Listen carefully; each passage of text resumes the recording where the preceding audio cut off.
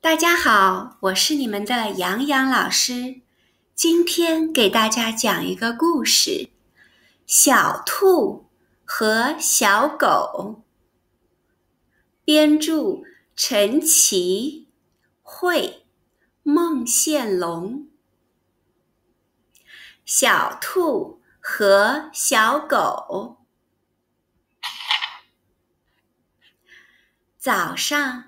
小花说：“我走了，再见。”小兔亲亲小花的手，小花说：“乖。”小花走了，家里只有小兔和小狗了。小兔是老大。小兔吃东西，喝水。现在它准备好了。它跳出围栏，开始了新的一天。它洗了耳朵和嘴巴，还用了香水。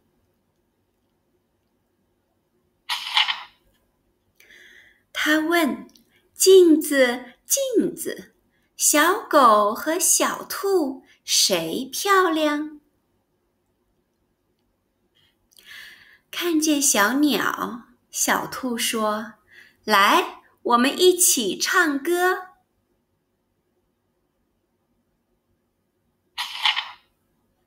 小兔喜欢看书，它看了一本又一本。小兔和小狗做游戏，小狗找不到它。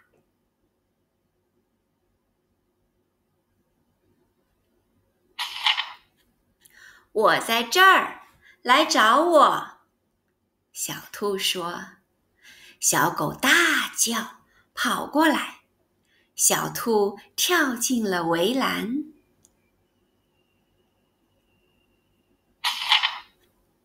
这时，小花回来了。她说：“小兔乖，小狗家里怎么了？”词语表：兔、亲、乖、知、指、老大、跳。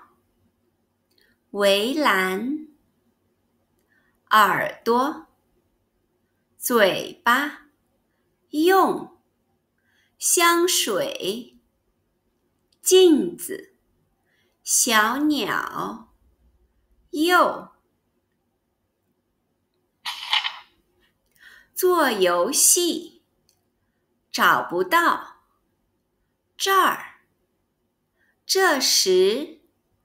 回来，